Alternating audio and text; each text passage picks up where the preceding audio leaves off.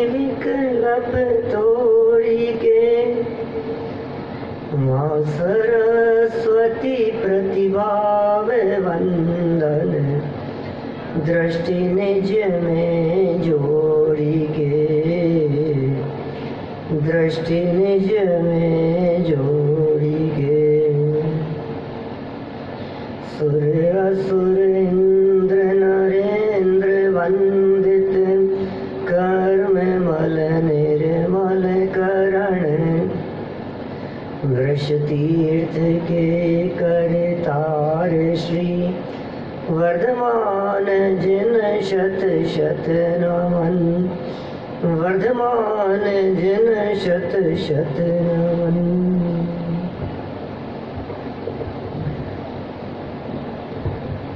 द्वीप में सर्वाधिक तीर्थंकर यदि हो तो 170 तीर्थंकर हो सकते हैं।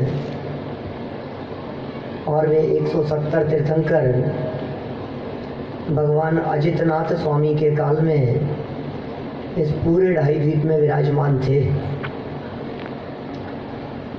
पूरे ही ढाई द्वीप में एक साथ यदि प्रवचन चले तो 170 जगह चल सकता है। प्रवचन, प्रकृष्ट वचन, दिव्य ध्वनि को कहते हैं प्रवचन। और अधिकतम से अधिकतम यदि प्रवचन हो पूरे ढाई द्वीप में तो 170 जगह हो सकता है। अभी चल रहा है ना 170 जगह? नहीं चल रहा अभी। अभी अजितनाथ भगवान का ही तो काल चल रहा है। अरे सुबह स्थापना तो की हमने। आप आप कहाँ आ गए वापस धात की खंड से निकलकर? अभी तो हम कल तक धात की खंड में ही रहने वाले हैं भैया। कल तक धात की खंड में रहेंगे, फिर पुष्करार्ध में पहुँचेंगे। 170 स्थानों पर वर्तमान में तीर्थंकर परमात्मा मौजूद है और उन तीर्थंकरों की दिव्य ध्वनि प्रवर्तमान है। मिनिमम तीन समय और अधिकतम चार समय उनकी दिव्य ध्वनि खिरती है। और क्या बात चलती है उस दिव्य ध्वनि में? उन 170 में से एक तीर्थंकर 170 में से एक, जिनका नाम सीमंदर। उन सीमंदर स्वामी की दिव्य ध्वनि को सुनकर, उस दिव्य ध्वनि का सार लेकर कुंद कुंद स्वामी ने ये प्रवचन सार ग्रंथ की रचना की। ये दिव्य ध्वनि का सार है ना? द्वादशांग मई जनवाणी का सार, तीर्थंकर परमात्माओं की दिव्य ध्वनि का सार, ये प्रवचन सार ग्रंथ है। क्या बात चलती होगी उस दिव्य ध्वनि में? क्या होता होगा? क्यों भाई साहब, क्या चलता होगा बताओ। ये सब चार समय दिव्य ध्वनि खिड़ती है तो इसमें क्या सीधी सी बात है? सुबह सुबह तो द्रव्यानुयोग चलाते होंगे। सुबह सुबह द्रव्यानुयोग चला लिया, फिर दिन में करणानुयोग चला लिया, शाम को चरणानुयोग और देर तक पहुँचते हुए जब थक जाते हैं सब लोग तो प्रथमानुयोग चलाओ। उसमें क्या है? चार समय दिव्य ध्वनि और चार अनुयोग तो एक एक अनुयोग की चर्चा एक एक समय करो। और क्या? कि नहीं भाई, दिव्य ध्वनि में चार अनुयोग मात्र की चर्चा नहीं है। दिव्य ध्वनि का सार तो क्या है? भगवान आत्मा है।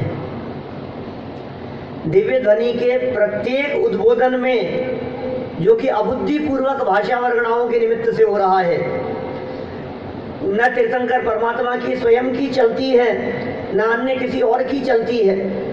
ये कैसी स्वाधीनता और स्वतंत्रता है। अनंत बल के धनी होकर के भी ये जगत के जीवों को उपदेश दे नहीं सकते।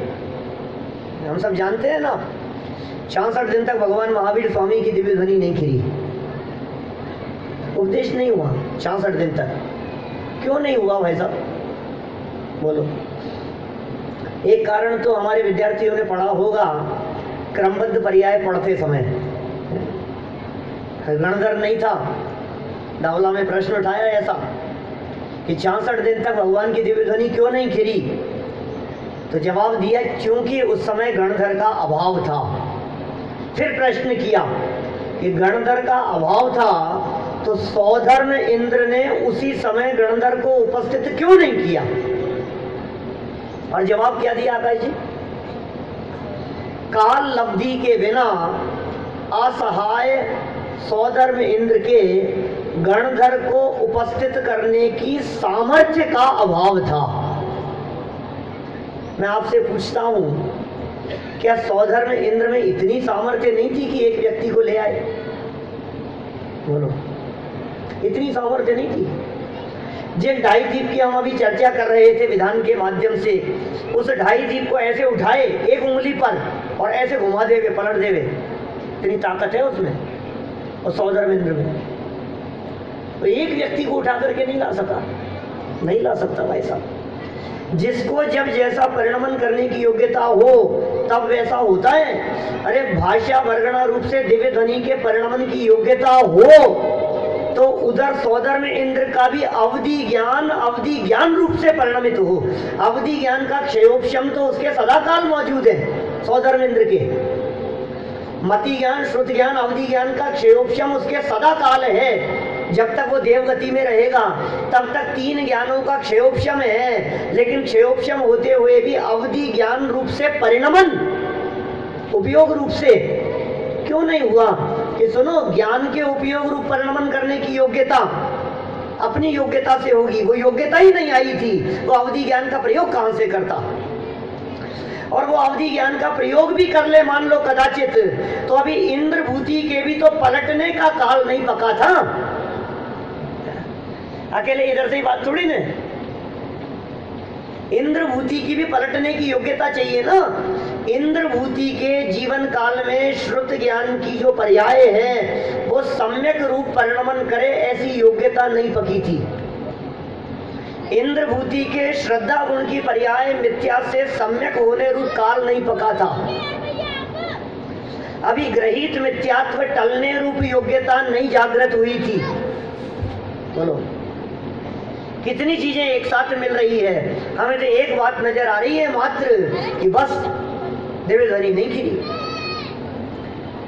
जो तीर्थंकर परमात्मा की दिव्य ध्वनि के काल में वहाँ बैठे हुए जो श्रोता थे, छियासठ दिन तक जो बैठे रहे, उनके भी तो दिव्य ध्वनि का लाभ प्राप्त होने की पात्रता नहीं जगी थी। अकेले एक ही तरफ़ क्यों बात करते हो? एक काम होने में अनेक कारण मिलते हैं और एक काम नहीं होने में अनगिनती कारण मिलते हैं। काम तो एक नहीं हुआ, लेकिन उसके पीछे कारण कितने थे? अनगिनती कारण दिखाई दे रहे हैं। क्या चर्चाएँ चलती होगी, बोलो? संजय जी भाई साहब आ जाओ इधर से नहीं, इधर से आओ, बीच में से। बोलो, क्या है स्थिति? माने ये दिव्य ध्वनि में क्या बातें आती होगी? कितने लोगों के संकल्प विकल्प चल रहे होंगे? क्या ये संकल्प विकल्प चलना निश्चित नहीं है? क्या लगता है आपको? क्या उन विकल्पों का काल निश्चित नहीं है? क्या ये क्रमबद्ध योग्यता नहीं है इस तरह की? एक एक वस्तु का परिणमन अपनी योग्यता से स्वतंत्र होता है। इसे टालने में इंद्र और अहमेंद्र कोई समर्थ नहीं है। ये दिव्य ध्वनि का सार है भाई साहब। तीर्थंकर परमात्मा समूह शरण में बैठकर क्या चर्चा करते होंगे? वो क्या चर्चाएँ होती होगी? जिस चर्चा को द्वादशांग का पाठी सौदर में इंद्र भी हाथ जोड़ करके बैठ करके सुनता है ये प्रभु, मुझे तो इन बातों की खबर ही नहीं थी।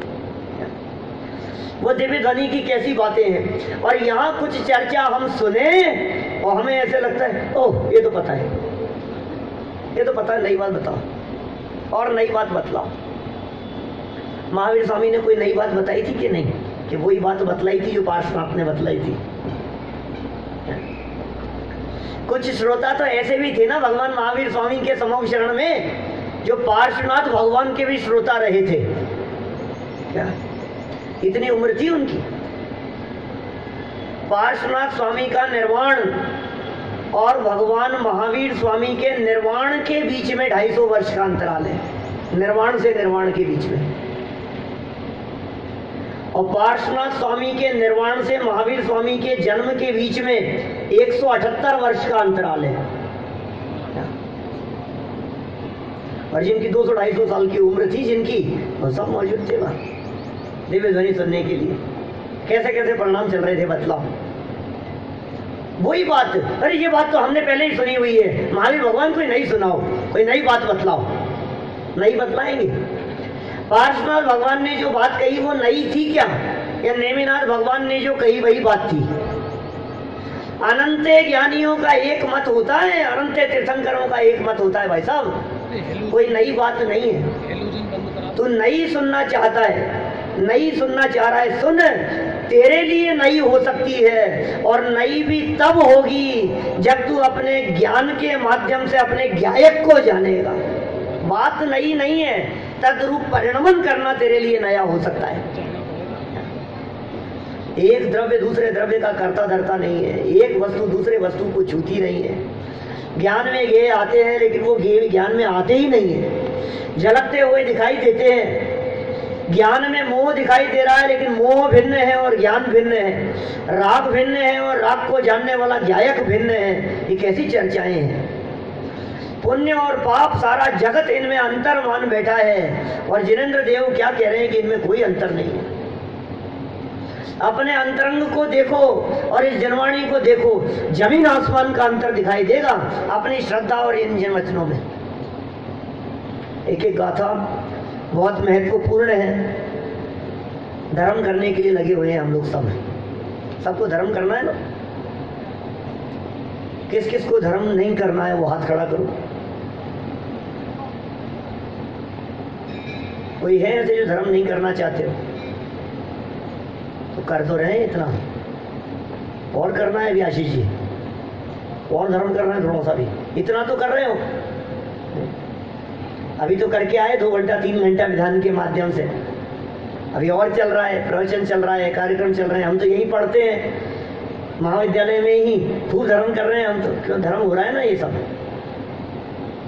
इसी का नाम धर्म है ना। सारे पाप क्रियाओं को छोड़कर जितने पाप हो सकते हैं, हिंसा, झूठ, चोरी आदि, सर्व पाप परिणामों को छोड़कर उत्कृष्ट रूप से शुभ भाव में प्रवर्तन करता हुआ भी जिसने आत्मा को नहीं जाना, बोले धर्मात्मा नहीं कितना कर लो आप, पुण्य कितना कर लो। बहुत महत्वपूर्ण गाथा है जो मेरे सामने खुली है। सेवेंटी नाइन नंबर गाथा। मार्मिक है गजब का स्वरूप बतलाया है। अस्सी नंबर गाथा तो बहुत प्रसिद्ध है। सेवेंटी नाइन किस किस ने सुनी है? कोई हाथ खड़ा करे? सेवेंटी नाइन नंबर गाथा क्या है प्रवचन सार की? जिसने सुनी हो इसकी चर्चा। हाथ तो खड़ा कर लो। घबराते क्यों हो? ध्यान है? नहीं है ध्यान? आशीष जी कोई ध्यान नहीं है तो फिर औरों का तो हाथ किसी का खड़ा ही नहीं। प्रवचन सार का स्वाध्याय तो किया होगा। जिस जिसने प्रवचन सार का स्वाध्याय किया, एक बार हाथ खड़ा करें। चार पाँच हाथ खड़े। कोई बात नहीं। अरे, दिव्य ध्वनि का सार है। एक बार ये पंच परमागमों का स्वाध्याय तो एक बार करो कम से कम अपने जीवन में। गाथा पढ़ता हूँ यहाँ। बहुत सुंदर चर्चा है। अस्सीवीं गाथा तो सुनी है प्रवचन सार की अस्सीवी गाथा किस किस ने सुनी है? ओ बहुत है।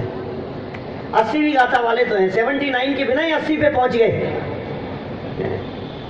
चलो सेवेंटी नाइन पढ़ते हैं हम लोग। चत्तापावारम्भम् समुत्थितो वा सुहम्मिचर्यम्मि न जदि जदि मोहादि न लहदि सोऽप्गं शुद्धम्। पद्यानुवाद लिखा है नीचे, जीव छोड़ी पापारंभ ने शुभ चरित माउद्यत भले, जो नव तजे मोहादिने तो नव लहे शुद्धात्मने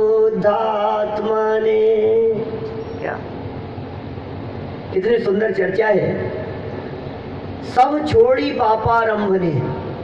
सारे पाप आरंभ छोड़ दिए हैं जिसने। जिसने सारे पाप आरंभ छोड़ दिए, वो कितना बड़ा धर्मात्मा होगा भाई साहब? क्यों? हिंसा जिसके जीवन में नहीं है, वो कितना बड़ा धर्मात्मा होगा? झूठ जिसके जीवन शंकर परमात्मा की दिव्य ध्वनि का ये कैसे सहा होगा बोलो उन भव्य जीवों ने, उन पात्र जीवों ने साक्षात तीर्थंकर परमात्मा समो शरण लगा हुआ है। तो किसी इंद्र की व्यवस्था थी सारी। और जगह जगह घोषणाएँ।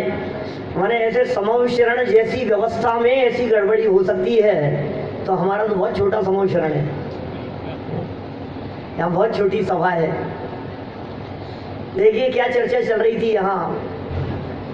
कि सारे पापारंभ को छोड़ करके भी और शुभ चारित्र में उद्यत होने पर भी जिसने मोह को नहीं छोड़ा, वो आत्मा को प्राप्त नहीं कर सकता।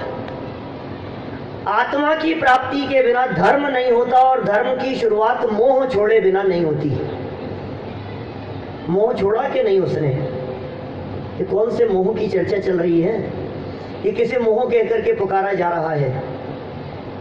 ये वो मोह है भाई साहब जो मोह छियानवे हज़ार रानियों के साथ में रहने वाले भरत चक्रवर्ती को नहीं है। और घरवार परिग्रह छोड़ देने वालों के जीवन में भी दिखाई दे सकता है। ये कौन सा मोह है? वेद प्रकाश जी, कौन से मोह की चर्चा चल रही है यहाँ? कुछ मोह है कि नहीं? इतने साल हो गए अभ्यास करते हुए कुछ मोह कम हुआ कि नहीं? हाँ मोह कम तो हुआ है थोड़ा सा। पहले से तो कम हुआ है थोड़ा। थोड़ा हुआ है ना? आज कह रहे थे ना पंडित जी, आधा कम हो गया है, आधा और खत्म हो जाएगा। कुछ इस भाव में निपट गया? कुछ अगले भाव में निपट जाएगा? क्यों? और महाविद्यालय में पढ़ने वाले बच्चों को तो घर के प्रति कितना मोह है? वीक में कितने दिन बात करते हो? एक दिन? तो छह दिन तो मोह बिल्कुल नहीं रहता है अपने को। क्यों? याद ही नहीं आती हमारे को तो कभी कभी तो। घर की याद नहीं आ रही, परिवार की याद नहीं आ रही। तो हमें कैसा लगता है? अरे तो मोह ही नहीं है। घर वाले क्या कहते हैं, इसको वहाँ भर्ती क्या करा दिया? इसको तो मोह ही नहीं रहा। हमारे पीयूष जी कहते हैं, मंगलायतन में क्या करा दिया? इसको मोह ही नहीं रहा। ये बात ही नहीं करता है। क्यों उसका भी मोह छूट गया, और आपका भी छूट गया। क्यों चिन्ह भैया? बच्चों से मोह है? आपको तो होगा, उनको भी है क्या इतना ही? लगता है उनको तो है ही नहीं। तो मुंबई क्या चले गए? तो याद ही नहीं करते। कई कई दिन तक फ़ोन ही नहीं आता है। भाई साहब, ये मोह की मंदता की नहीं, मोह के अभाव की चर्चा चल रही है। ये घर गृहस्थी परिवार के प्रति होने वाले मोह की बात नहीं है। ये कौन से मोह को छोड़ने की चर्चा चल रही है? एक बार गंभीरता से विचार तो करो। जिस घर बार बाल बच्चों के प्रति मोह को छोड़ने की सोच रहे हो आप, ये मोह छूट जाने पर भी मोह नहीं छूटा आज तक कभी। ये तो राग थोड़ा सा कम होता है कभी कभी द्वेष हो जाता है उसके प्रति तो कहता है, इसके प्रति कोई मोह नहीं है हमारे को। ये बच्चे के प्रति ऐसा हो गया, इतनी विरक्ति हो गई हमारे को, इसके प्रति कोई मोह नहीं है हमारे को। अलग कर दो इसको, नाम कटवा दो इसका, ये हमारे परिवार का सदस्य नहीं है। देखो, मोह हट करके द्वेष में बदल गया तो कहता है, मोह नहीं रहा। जबकि वो भी मोह ही है। एक मोह है दर्शन मोह, एक मोह है चारित्र मोह, और चारित्र मोह में राग और द्वेष दोनों शामिल हैं। तो मोह तो है ना? राग बदल करके द्वेष हो गया तो क्या मोह नहीं है? अरे यहाँ जिस मोह की चर्चा चल रही है, ये चारित्र मोह वाला मोह नहीं है, दर्शन मोह वाला मोह है। देखो, यदि बाल बच्चों के प्रति मोह वाले को मोह मानोगे तो एक इंद्री से चार इंद्री तक के सभी जीव नियम से निर्मोही मानने पड़ेंगे। क्यों भाई साहब? क्यों सवाल चाहिए सब क्यों? मतलब एक इंद्री से चार इंद्री तक के सब निर्मोही। सारे निगुदिया जीव निर्मोही। पृथ्वी का एक, जल का एक, अग्नि का एक, वायु का एक, वनस्पति का एक, दो इंद्री, तीन इंद्री, कीड़े, मकोड़े लट, चीटी आदि सब सब निर्मोही। क्यों? क्योंकि वे सब सम्मूर्छन हैं। उनके माता पिता होते ही नहीं है। उनका परिवार होता ही नहीं है। चींटियों का और मच्छरों का परिवार ही नहीं होता। जब परिवार ही नहीं होता, जब बाल बच्चे ही नहीं होते तो फिर बाल बच्चों के प्रति मोह होता होगा उनको? जब है ही नहीं तो मोह का क्या सवाल है? तथा हम सैनी पंचेंद्री जीवों को तो है ना बाल बच्चों के प्रति? हमें तो यही छोड़ना है कि सुन, आज मरा और मरते ही इनके प्रति मोह लेके जाएगा क्या साथ में? मोह गया इनके प्रति? अब बच्चों के प्रति थोड़ी ना मोह बचा है कहा परिवार के प्रति मोह है? यहाँ परिवार के प्रति मोह को मोह नहीं कह रहे हैं। यहाँ तो उस मोह की चर्चा चल रही है, जो मोह परिवार के रहते हुए भी छूट सकता है। और परिवार छूट जाने पर भी कायम रह सकता है। वो कौन सा मोह है? उस मोह की यहाँ चर्चा चल रही है। सब छोड़ दिया। हिंसा नहीं है, झूठ नहीं है, चोरी कुशील परिग्रह नहीं है। बाहरी जीवन से जिसके किसी प्रकार की कोई शिकायत नहीं है, कैसा जीवन होगा उस व्यक्ति का? बाहरी उसके जीवन को देख करके कोई व्यक्ति उंगली नहीं उठा सकता है। अरे यार, ये गलती है। नहीं नहीं नहीं। ये ऐसा कैसे बोल रहे हैं कि ठीक नहीं है? ये चल, इनका चलना ठीक नहीं है। इनकी क्रिया ठीक नहीं है। इनका खान पान ठीक नहीं है। इनका व्यवहार ठीक नहीं है। जिनके बाहरी जीवन से किसी प्रकार की कोई शिकायत ना हो, ऐसे उत्कृष्ट आचरण को पालन करने वाले, अरे पीछे कमंडल जिनके पास में है, ऐसी चर्चा की है यहाँ तो। जैसे नाचार्य देव ने खोला है उसे ग्रह आरंभ को भी त्याग देने पर मोह जिसका नहीं छूटा, उस व्यक्ति की यहाँ चर्चा चल रही है। तो क्या हो गया साहब? नहीं छूटा तो नहीं छूटा, कोई बहुत बड़ी बात हो गई क्या? बहुतों का नहीं छूटा। अकेले हमारी क्या बात कर रहे हो आप? हमें काय को सुना रहे हो, आपका छूट गया क्या? किस किस का छूट गया? यहाँ कौन है ऐसा जिसका छूट गया हो? कोई बड़ी बात नहीं है कि सुन, दूसरों को देख देख करके विचार मत कर। क्या? अपने आत्म कल्याण के बारे में विचार कर। ये आचार्य देव कह रहे हैं कि ये सारा छोड़ देने पर भी पाप तो छोड़ा और शुभ परिणामों में लगा रहा और शुभ परिणामों में लगकर अपने आप को संतुष्ट स्वीकार किया। उसके बारे में कह रहे हैं महा दुख संकट निकट है। क्या क्या कह रहे हैं साहब ज्ञानचंद जी साहब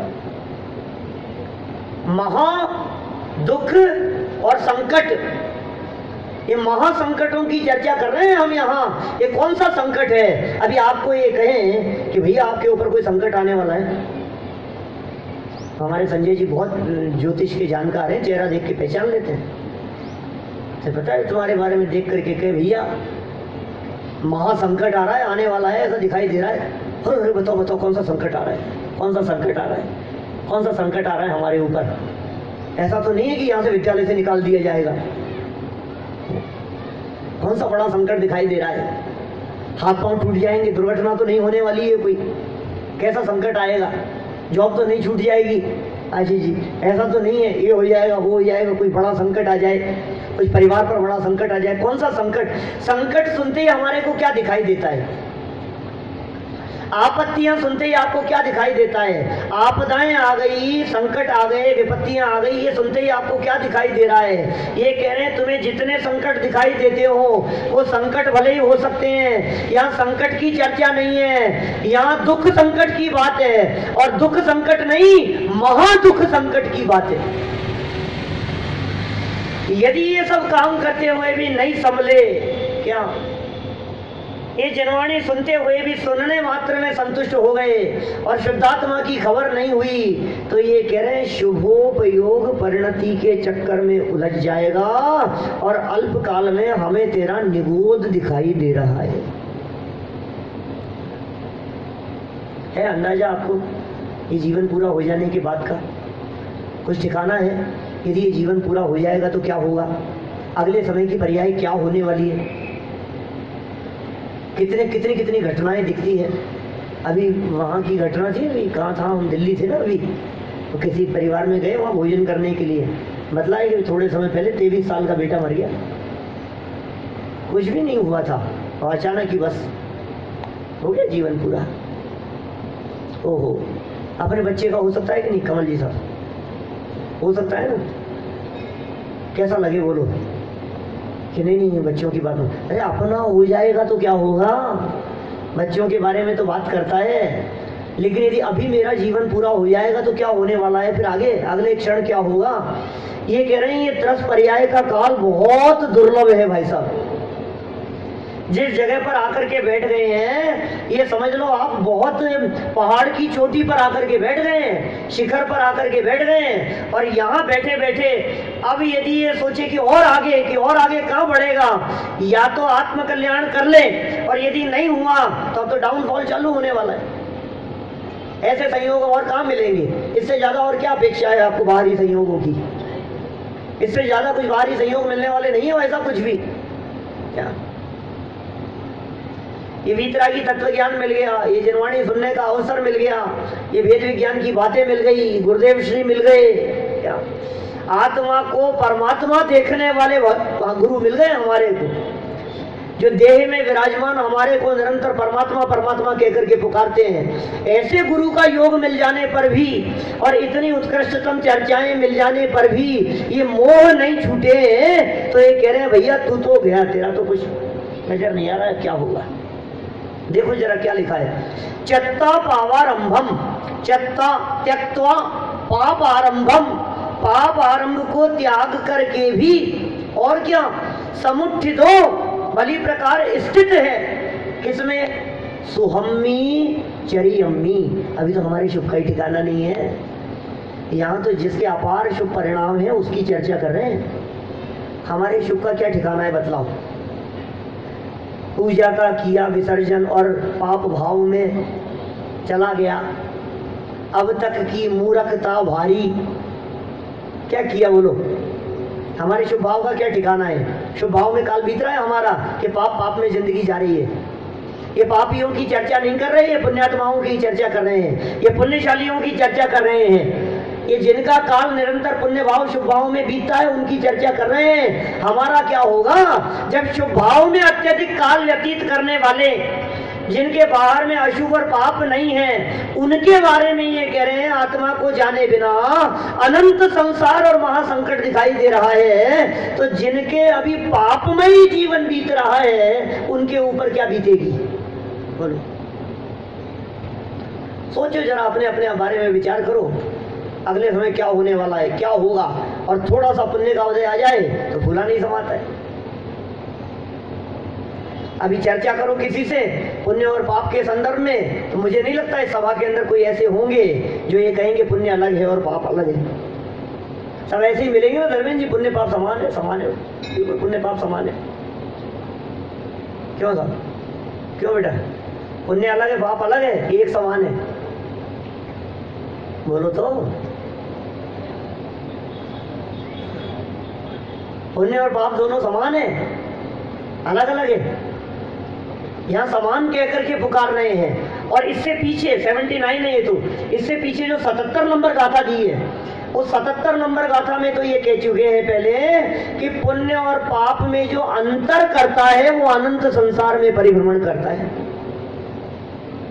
समझ नहीं आ रही, बच्चे कनिष्ठ वरिष्ठ वाले भी होंगे ना?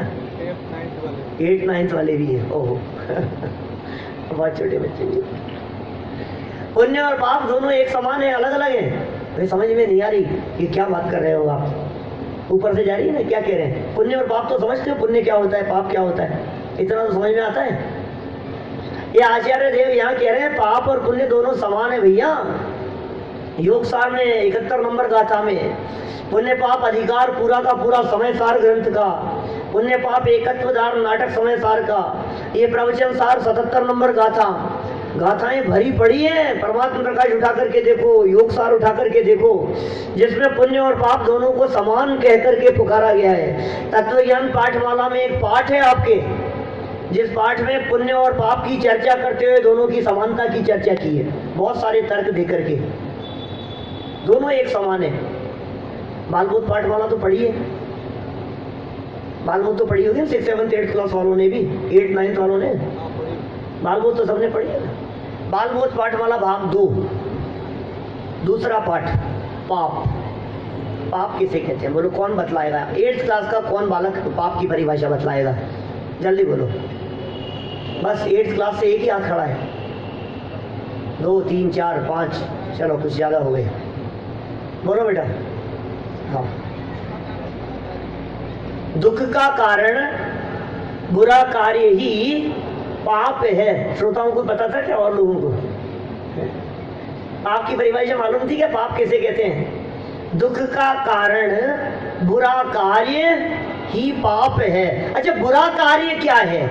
अब इसी परिभाषा को देखो थोड़ा सा बुरा कार्य क्या है? बोले, जो दुख का कारण है ना, वो सब बुरा कार्य है। इतनी बात तो समझ में आ रही है? जो जो दुख का कारण है, वो सब बुरा कार्य है। अब ज्ञान जी साहब दुख का कारण क्या क्या है? उस पर लगाओ। बोलो, दुख का कारण क्या क्या है? ये आयोजन क्या हो जाते हैं? सुबह से जल्दी उठो, हर कार्यक्रम अटेंड करो। अभी विधान में जाओ, फिर प्रवचन में जाकर के बैठ जाओ। क्या लगता है हमारे को? ये दुख नहीं है इसमें? देखो, हिंसा करने में दुख नज़र आता है। हिंसा करने वाला खुद दुखी है, स्वयं दुखी है। झूठ बोलने वाला सुखी नहीं है। चोरी करने वाले के चित्त में निरंतर आकुलता है। कुशील व्यभिचार करने वाला व्यक्ति निरंतर दुखी रहता है, अंदर में पीड़ित रहता है। और परिग्रह संचित करने वाला व्यक्ति भी कोई महासुखी नहीं है। उसको भी दुख दिखाई देता है निरंतर। पाँचों पाप में दुख दिखता है। अब चर्चा करो थोड़ी सी कि ये दुख के कारण है या नहीं है। पूजन करना। अपन पाप की परिभाषा देख रहे हैं भाई साहब? मैं बच्चों को पढ़ा रहा हूँ, आठवीं क्लास के बच्चों को। क्या बेटा? पूजन करना पुण्य है या पाप है? पुण्य, सीधी सी बात है, इसमें क्या है? पूजन करना तो पुण्य है। अच्छा काम है ना? तो कितनी देर करना चाहिए? कितनी देर हो गए नौ बजे तक यदि पूजन का समय हो और सवा नौ तक बिठाए रखें और सवा नौ बजे तुम्हारे नाश्ते का टाइम हो और पूजन पौने दस दस बजे तक चलती रहे और तुम्हें नाश्ते के लिए जाने का निर्देश ना दिया जाए तो बोलो क्या हो रहा है? क्या हो रहा है अब? आकुलता? ये आकुलता किस चीज़ में हो रही है, है? पूजन करने में आकुलता हो रही है? और संजय जी ने कह दिया कि एक पूजन और होगी अभी। है? अरे यार, हम तो सोच रहे थे खत्म हो रही है, अब तो चलेंगे। अभी एक पूजन और शुरू हो गई। अभी तो भाई साहब, अब तो और फिर बीच में दो लाइन समझाना और शुरू कर दिया। तब तो देखो फिर क्या होता है? फिर कैसा लगता है हमारे को? ये जो अंदर में चल रहा है, मैं आपसे पूछना चाह रहा हूँ, ये अंदर में चलने वाली आकुलता और बेचैनी, ये आनंद है या दुख है? बोलो भाई, दुख की परिभाषा जिसने बतलाई, पाप की परिभाषा। ये जो आकुलता चल रही है, ये बैठे बैठे आकुलता चल रही है। विदाई समारोह भी है ना? क्या? अच्छी अच्छी बातें बोलेंगे यहाँ आकर के। दस के दस, बारह विद्यार्थी जो भी हैं, सब बोलेंगे। और मन में चल रहा है, क्या बोलूँगा क्या बोलूँगा? मुझे क्या बोलना है? अभी तो कब होगा समारोह? शाम को होगा कि कल होगा? शाम को होगा, है? और अभी से ये चल रहा है दिमाग में? क्या क्या मुझे क्या बोलना है? मुझे क्या बोलना है? तैयारी चालू है, दिमाग में सोच रहा है। ऐसा, ऐसी बात कहूँगा, देखना। सब देखते रह जाएँगे। तुम काहे की आकुलता कर रहे हो भाई साहब? ये स्वाध्याय करते करते यदि आपको आकुलता होने लगे बार बार में घड़ी दिखने लगे और ये शुभ के काल में भी निरंतर बेचैनी होने लगे। तो ये कह रहे हैं, भाई साहब, ये दुख का कारण है। इसे कौन पुण्य कहे? ये तो पाप दिखाई देता है हमारे को। क्योंकि पाप की परिभाषा तो ये दुख का कारण जो हो वो पाप है और ये हमें दुख का कारण नज़र आ रहा है। इसे पाप कैसे नहीं कहें? आचार्य देव इसे पाप कहकर के पुकारते हैं। समय सार ग्रंथ में जहाँ पुण्य पाप अधिकार समाप्त किया। जैसे महाराज ने, वो जैसे आचार्य समाप्त करते हुए क्या कहते हैं? क्या भाई साहब? अंत में कहते हैं, पुण्य पाप अधिकार है। लाइन कहते हैं जैसे नाचार्य देव। अब इस प्रकार पाप अधिकार समाप्त होता है। पाप अधिकार समाप्त होता है। था तो पुण्य पाप अधिकार। अंत में अंतिम लाइन क्या लिख रहे हैं? पाप अधिकार समाप्त होता है। प्रूफ में मिस्टेक कर देते, हम यदि हम होते ना तो हम ये कह लेते यार ये तो पुण्य छूट गया इसमें से। रह गया होगा। टाइपिंग मिस्टेक है। गलती से छूट गया होगा। एरो लगा करके इसमें सभी लोग पुण्य शब्द भी जोड़ ले लेकिन पता है क्या हुआ चिन्मय जैसे नाचार्य देव ने स्वयं प्रश्न उठाया कि अधिकार तो पुण्य पाप अधिकार है। तुम ऐसा क्यों लिखते हो कि पाप अधिकार समाप्त होता है? अब बोलो, अब भी जोड़े उसमें? अब जोड़ने की गुंजाइश ही नहीं है।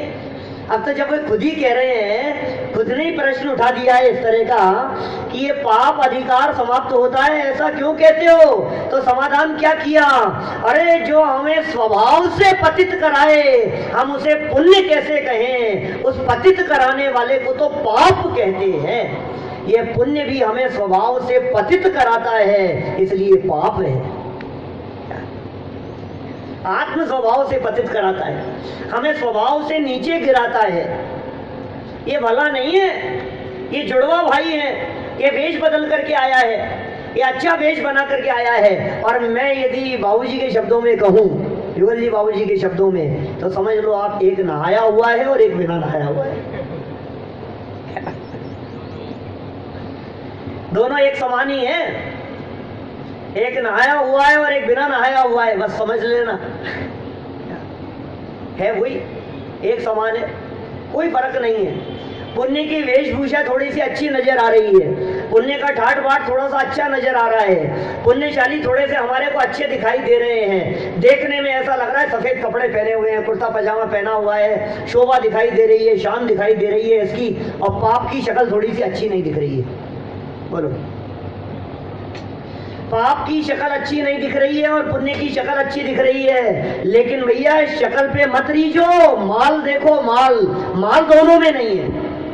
पुण्य हो या पाप हो, दोनों ही आकुलता उत्पन्न करने वाले हैं। इसलिए बनारसी दास जी ने कह दिया, दोहू माई दौड़े धूप, दोहू घर में बंदे रूप, याते ज्ञाने बनते नहीं को भीला क्यों है? पूरा नहीं सुना रहा हूँ, जैसे काहू चंडाली से लेकर के। क्या? समय नहीं है ना? सीमित समय है। कितनी देर, धर्मेंद्र जी? जैसे काहू चंडाली जुगल पुत्र जन तिन्ही एक दियो बावन के एक घर राख्यो है। बावन कहायो तिनी मध्य मास त्याग कीनो। चांडाल कहायो तिनी मध्य मास त्याग्यो है। चाख्यो है। तैसे एक वेदनी करम के युगल पुत्र, एक पाप, एक पुण्य नाम भिन्न राख्यो है। और दोहू माई दौड़े धूप दोहू कर में बंधे रूप। याते ज्ञाने बनते नहीं को अभी लाख्यो है। सारा जगत पाप को छोड़ करके पुण्य करना चाहता है। सारा जगत ये चाहता है, पाप से बचो, पाप से बचो, पाप से दूर हटो, पुण्य करो पुण्य करो थोड़ा सा लेकिन ये जिनवाणी ये कह रही है, ये भगवान महावीर स्वामी की वाणी ये कह रही है कि भैया सुन, ये पुण्य भी अटकने का स्थान नहीं है, क्योंकि पुण्य के बाद में फिर पाप में चला जाता है और पाप से फिर पुण्य में चला जाता है। ये पुण्य पाप के परिणाम करता रहता है। जब पुण्य और पाप दोनों से पार अपने स्वभाव को देखेगा तो निर्वाण की प्राप्ति होगी तो सच्चा धर्म प्रकट होगा। कर्म में धर्म का भरम हो रहा है।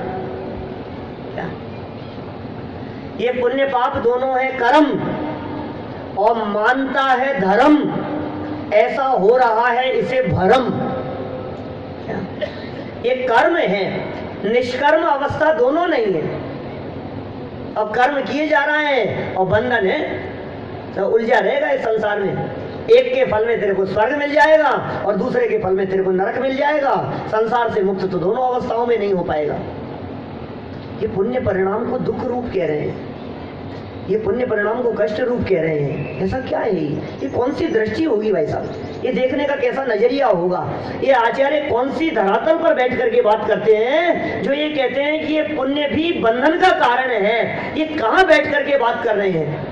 सोचो तो सही जरा, क्या गहराई लिए हुए हैं? हमें अच्छा लग रहा। है आज के आनंद की मज़ा आ गया साहब क्या विधान हुआ, क्या पूजन हुई, क्या आयोजन हुआ? ये सुन, ये आयोजन आयोजन में अटक गया तो इस आयोजन में प्रयोजन भूल गया।